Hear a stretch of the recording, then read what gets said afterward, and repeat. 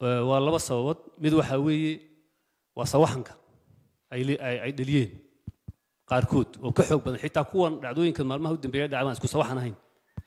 Talanba qalaafo dhacdooyin baa ka dhacay. Baabili dhacdooyin baa ka dhacay. Gobolka doollo waxaa ka dhacay dhacdooyin. Gobolka jarar waxaa ka dhacay. Iyaga laftigooda gobolka shabeelle waxbaa ka dhacay. Iyaga laftigooda dhacdooyinkii hadda dhacay baan isku sawaxan isku dhawaaq toonahayn Een, marka mid waa sawaxan midda kale eh, waxaa weeye waa qaabka loo maareynayo isku dhacyada khilaafaadka khilaafaadka wax laga bedelay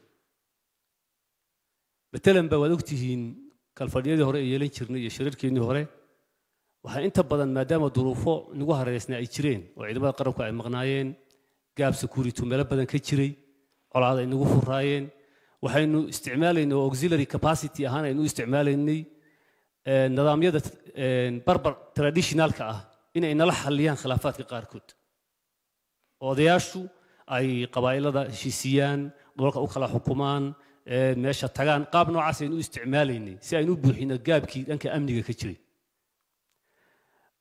Meelaha qaarkood way shaqeeyeen meelaha qaarkoodna goldolooyin ka noqonaya baa jiray. Waxaa ka mid ahaa saraynta sharciga sugideeda xaggeeda in dadkii dembilaha aan la qabanayn qofkii qacanku dhiglaha waxaa ka mid ahaa in maaragtay waxyaalo u baahan in sharciga la horkeena aan la horkeenin waxaa ka mid ahaa in dadkii khilaafka dheliyey laftigoodu laga raadinaya xalkii inay keenaan. Marka taas waxay keentay eh, su'aalo fara badan xagga shacabka oo isla golahan uuna weydiinaya oo ahaa dadkii waa islaynayaan ma la kala qabto. Waxaa marka hadda eh, aad noo saamaxday xaaladda jirta in qaabkii hore wax laga bedelo oo xukuumaddu mas'uuliyadda ka saaran in ay dadkana kala celiso ay kala qabato dembiilayaashana sharciga hor keento ay iyadu qaadato. Waxay markaa noqonaysaa in la wajaho actors horay aan loo wajihi jirin. Taas daraaddeed eh, qaabka wax loo bedelay een, way dhalisay iyaduna buuqyo dheeraada oo isku dhacyada hadda u dambeeya eh, ay wataan. Arrimaha isku dhacyada marka laga hadlayo marka maxaa hadda kordhiya oo soo kordhay xildhibaan baan filayaa inuu yidhi? Waa maxay waxa iminka dheeraadka ah ama xagga isku dhacyada ha noqdo ama xagga qaabka loo maaraynayo ee dhacdooyinka dhacaya. Maxaa soo kordhay? Maxaa hadda soo celceliya arrintan baa su'aashu ahayd? Waxaan aaminsanahay saddex arrimood. Markii aan daraasaad ilaa iyo hadda wixii daraasaad aan hayne aan eegno inay yihiin kow waa wax la xidhiidha timinka xilliga roobka. Inta badan xilliyada roobka khilaafaad kor bay u kacaan. Khilaafaadka hadda dhacay qaar ka mid beeray ka dhac- weeraan dhowr ka mid beeray ka kaceen. Marka xilligan dadkiina maadaama beerihiina la soo baranayo khilaafaadka isqabsiga dhulku xilliga roobka wuu ka sarreeyaa xilliga jiilaalka. Sida caadiga.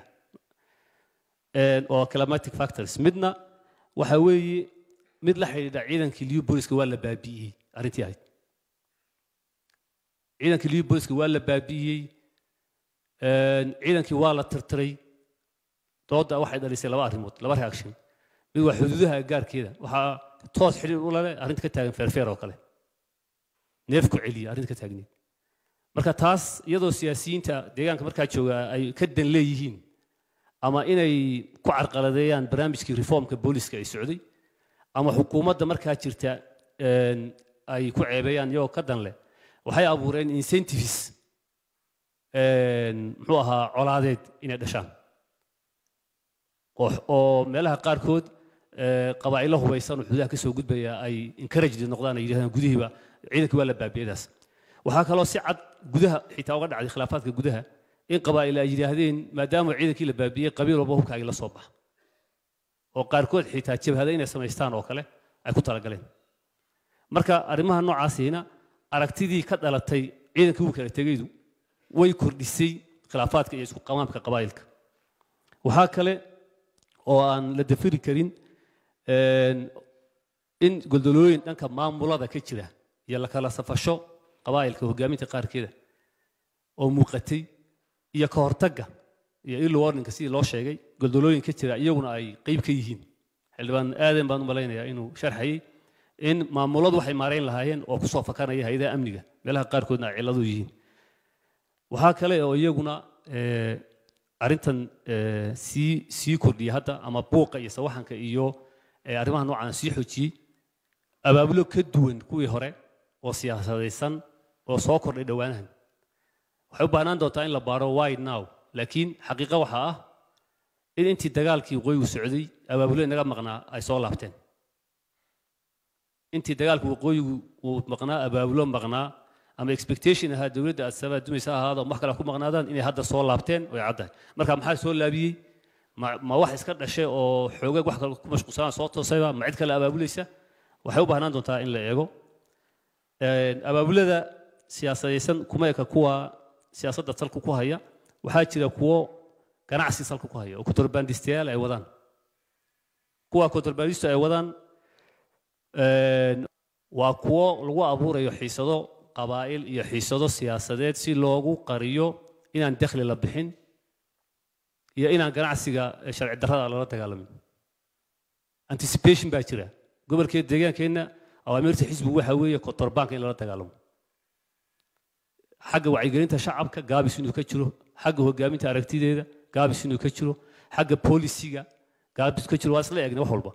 Hadda marka howlahaas haddii la galo dakhli ururinta ganacsiga sharci darrada arrimaha la xidhiidha dadyo u arka inay saamaynayso oo ka hortag ahaan u isticmaalaya inay siigo siyaasadeed iyo buuq dhaliyaan iyaguna qayb ka yihiin meelaha qaarkood buuqyada iyo isku dhacyada iyo fawdooyinka abaabulan laga yaabo muxuu in ay keenaan in naf ku baxdo maadaama oo hay'adaha amniguna inay xalliyaan ay noqonayso. Marka waxyaala noocaas oo dhan ayaa hadda ayaa jira. Laakiin golahan sharaftali wuu ogyahay arrimaha nabadgelyada wixii la xidhiidhay kan fadhigan kii ka horreeyey waxyaalihii lagu soo qaaday badankooda in xal loo helay. Inaad xusantiin mooye waxay ahaayeen isku dhacyada deegaanada jaarka aan la leenahay. Ama ha noqoto difaacidda dadyaga meelaha jooga in maaragtay aynaan barakicin ama ha noqoto in xal nabadeed laga gaadho. Arrimo la xidhiidha in ahaayeen toobiyada ugu waaweyn. Sidii shalay aan ku sheegay reportiga deegaanada jaarka aan nahay gaar ahaan deegaanka oromiya arrimihii taagnaa si nabadgelya iyo wadahadal iyo shirar fiican ayaa lagu xaliyey. Waa la xaliyey macnaheedu ma soo noqonayaan maaha macnaha meelahan qaarkood deegaano is haysta maaha. Waa qabaa'ilo labada dhinac kala degan oo qaab deegaan marka loo macnaysanayo. Sidii shalay lalahaa colaaddii tuli guda waa la xaliyaa laakiin dad cadhaysan baa jira. Waa xaqiiqo wey xal waara oo arrimaha ku saabsan weli maadaama laba weji leedahay colaaddaas sida gaar ay u leedahay lama gaadhin. Laakiin waxaan ka hadlaynay hawshii markaa taagnayd hore halkan laga hadlay ee u sii darayd waxbaa laga qabtay baa la odhan karaa. Bilow fiicanna wuu ka jiraa haddaba arrimaha nabadgelyada marka laga hadlayo sawaxanka jira waxaa weeye mid u dhexeeya dowlad ma jirto dadkii lama kala qabanayo muxuu ahaay nidaamkii meesha uu ka baxay sareen sharciga lama sugayo. Istiidooyin jira weeyaan. Mid waa taa midda kalena waxaa weeye wixii shalay baa soo noqo dadka la xansuuqaya. Labada extreme ayaa laba daqiiqo gudahood lagu wada hadlaya taa marka markaad eegto wax xasuuqa dhacay ma jiro. Meel xasuuq ka dhacay ma jiro doollo arrinteedii meeshii tuulaguba kama dhicin birqod kama dhicin qalaafa kama dhicin baabili kama dhicin meella kama dhicin xasuuq waxaa ka dhacay xadhig dad la soo xirxiray marka qaabka xadhigga loo soo xiray dadkaas khaladaad way ku jiri karaan hay'adaha amniga xaggeeda. Waxay u baahan tahay in la baaro muxuu ahay khaladaadka la soxo qaar already laga howlgalina way jiraan. Laga yaabo xilliga reportiga la dhameeyay wixii dhacay inaan reportiga lagu soo darin. Maalmahan maadaama qaar ku taagnaayeen. Marka tababarka ciidamadeenu waa sidee? Transitionka hadda la sameeyey enforcement soo noqonaya waxyaala noocan hoos loo eegana u baahnaanayaan. Laakiin xasuuq iyo tacadiyo lagu mataali karo wixii jiray iyo wax la mida toona oo dhacay ma jiraan. Waa waa muxuu ahaye waa waa uun sawaxanka aan caafimaadka qabin ee laga yaabo marka ay aad u bataan maadaama ay bateen repetited noqdeen inay iska noqdaan wax jira. Dii lagu celceliyo waxaa jira laakiin dad naftooda ku waayey. Qalaafa hal shaksi baa ku dhintay birqod hal ku dhintay qof hadda waxaa xukuumadda ciidamada booliska isku dhaceen wixii shacabka dhexdooda kala gaadhay maahan ka hadlaya baabili meelaha kale. Meelihii noocan ahaa wixii ka jireen gacanta lagu hayaa baaritaan bay u baahan tahay. Kolkaa wax dhacaan inta badan ciidamadu waxbay sheegaan ama hay'adaha nabadgelyadu shacabkuna waxbuu sheegaa. Marka in la baaro si degan hay'adihii nabadgelyada ciddii ay khusaysay shacabki cid walba engagementii wuu socdaa inta aan hawshaas la gaadhinba loo kicin laakiin waxaa la rabaa arrimaha ka dhashay inay kuwa kala dhaliyaan ujeeddada loo dedejinaya ee loo sugayn waxyaalahan waxaa weeye waa in wax kale ka sii dhasho halkan marka taa in golaha xildhibaanadu ay ogaadaan hogaamin ahaanna wixii macluumaad ay u baahan yihiin kalfadhigaba aynala sugin ee meelaha ku habboon ay ka qaataan ayaan ee, yaa wanaagsan baan qabaa. Arrinta la xidhiidha xagga nabadgelyada ee kale waa arrin la xidhiidha tallaabaqaadka yani dhibaatooyinka markay dhacaan maamulo hadday ku leeyihiin maxaa tallaabo? Looga qaadi laayahay Ee, xogta anu aan hayo sanad miisaaniyadka laba kun iyo shan iyo toban laba boqol afartan iyo sideed qof oo maamulada jira ee deegaanada iyo gobollada u badan ayaa tallaabo laga qaaday.